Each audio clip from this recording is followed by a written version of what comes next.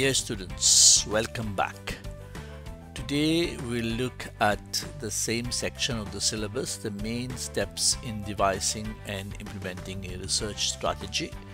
We'll have three lessons where we will concentrate on sampling. We should look at different aspects of sampling.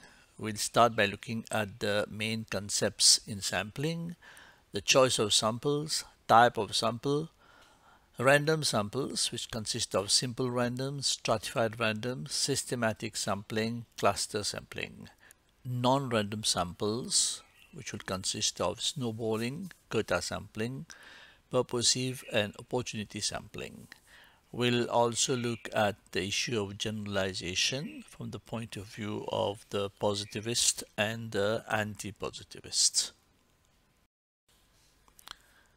In the first lesson, we'll look at the terms and concepts that you should be familiar with when you study sampling. We will look at what is a sample, a population, sample frame, representative sample, significant characteristics and variables. What is a sample and why sample? We'll come back to this little later, but to introduce, you should understand that a sample is simply part of a group or a population. Why do we sample? It is not possible to study a large group. Therefore, researchers find ways in which they may study a smaller group. This is called the sample and this smaller group will help them understand the whole population they want to study. It is not therefore necessary to study the whole population when a sample can give you valid information. Let us take an example to illustrate what is a sample. Look at this picture. You have a stadium full of people. Suppose the sociologist wants to study what happened there on that particular day some aspects of the problems that might have incurred during the game. She can't go and ask every person in the stadium. So therefore she will have to find a few people from whom she can seek information. And those few people will be the sample. But for the time being you should understand that any part of this population, any part of this group of people sitting in the stadium could be a sample. So it could be a small group on the left, on the right, or on the opposite side. Just to help you understand that the sample is simply a part of the whole. Later we'll come to another aspect which is the representative sample. A sample therefore is simply a part of the whole. Any sample does not necessarily represent the population. In other words, any group of people taken at random from this stadium will not necessarily represent the views of all the people sitting in the stadium. To be more precise, a sample is any part of a population. You will notice that I have put some of the sentences in a rectangle. It indicates the definition of a particular concept. We also use the term population. You should remember that we are not referring to the population of a country in sampling, population refers to the bigger group from which the sociologist is drawing the sample. Let's go back to the same example we took of the stadium. In this case, the population is all those present for the match on that day. We are not referring to the population of the country. We looked at sample and population. There is another concept that you should be aware of, sample frame. A sample frame refers to all those who form part of the population the sociologist is interested in. In other words, everybody who would potentially form part of the population. That is, all those present for the match on that day. It's like framing them and say this is the limit within which we are going to draw our sample. Let us now take an example from the schools. Suppose we are interested in a sample of pupils or students in full-time education. In Mauritius, it can refer to those in private or state schools. Therefore, the population of pupils or students will refer to all those in either a pre-primary, primary or secondary school who are in full-time education. You note that we have not included students in the tertiary sector in the universities. We are not referring also to the population of the country, nor to all the population in education, but only those we are interested in. Therefore, the population for us means students from age 3 to 18 or 20 provided they are still in full-time education. So by now you should understand what we mean by a population in the context of sampling. Let us now look at another important concept in sampling representative sample.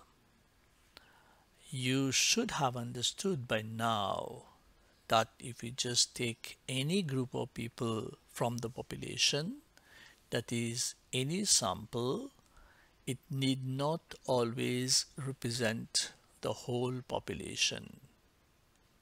But there are ways in which we can draw a sample so that it represents the population we are interested in. That is, we can draw it in such a way for it to represent the whole population in terms of certain significant characteristics. For instance, in terms of sex, age, social class, or level of education, for instance. We will look at this in more detail in a few minutes. All scientists use samples and sampling to carry out their work. Let's take this example of the doctor taking a sample of blood from a human body. He can just take a little bit of blood, a few millimeters from any part of the body and that blood will represent all the blood in the body. He need not take blood from the arm, from the back, from the leg because blood taken from the arm will represent all the blood in the body. But it is not so straightforward when it comes to a sample in the social sciences. Let us go back to the example of the stadium and ask ourselves what would be a representative sample of the population who watched the match. Can you take some time and list the characteristics of a sample of those at the stadium? It should include people who support each of the teams and what else?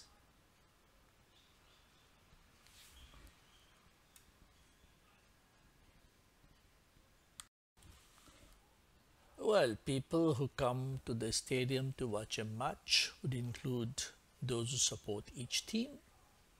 You have to make sure that you look at people of different age groups, people of different social classes, different gender, and there may be other such variables. All these must be represented in the sample if we want the sample to represent the characteristics of all the people who were at the stadium on that particular day. In other words, the sociologist has to ensure that the sample contains members of all the different groups present at the stadium. Then only the sample will represent the population, that is those present at the stadium. Let's now look at another important term, significant. Let's list the significant characteristics of a representative sample of those at the stadium. We said earlier that there should be supporters from each team, people of different age groups, social class, sex, manager or representative of each team, for instance. But do you think that we should take, for instance, the color of the eyes or the hair of those present to make a representative sample? Obviously, no. The sociologist should not think of taking the color of the hair or the eyes because such characteristics would not make a difference in the way people think. Rather, age and social class and other factors would be more significant. This is why you should understand that we should look at the significant variables that is factors which will make a difference in the way people respond.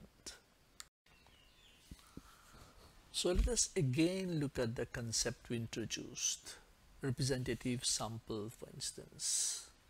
A sample is representative when it is drawn in such a way as to represent the population in terms of the significant characteristics or variables. We are refining this definition because you just learned about the, a new concept significant variable. What is a variable? A variable comes from the word vary.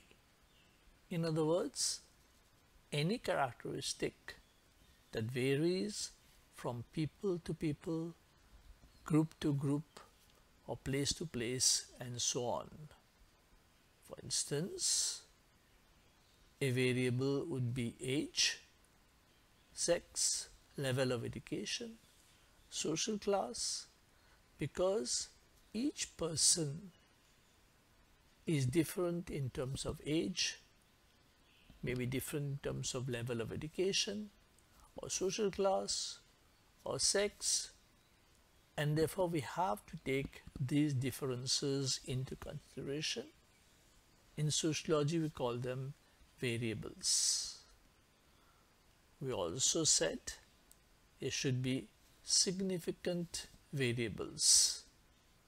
The sociologist who wants to have a representative sample has to ensure that the sample is made up of these significant characteristics. That is, people present in the samples come from, for instance, in the school from all grades, from both sexes, from different social classes, and so on. And the term significant, a significant variable is one which is important for the study and which will make a difference on how people behave in a group. Look at the sentences in a rectangular box. These are important definitions that you should understand and remember.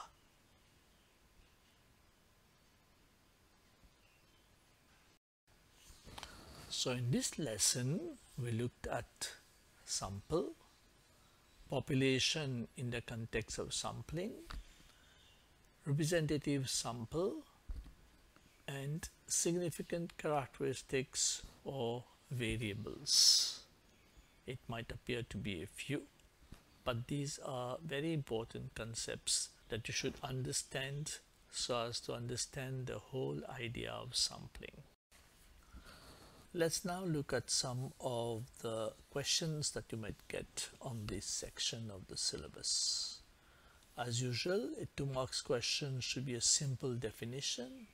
A 4 marks question should be a definition plus example and an 8 marks question should have more explanations, at least two different ideas clearly explained.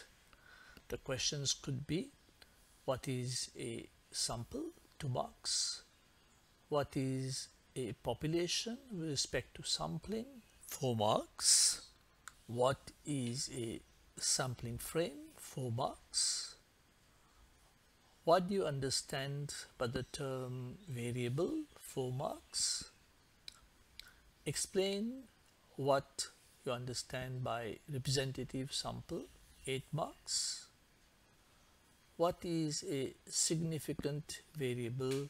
8 marks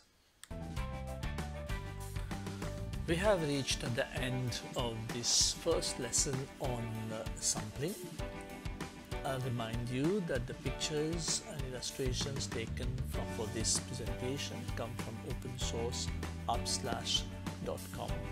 Thank you very much for your kind attention. See you next time.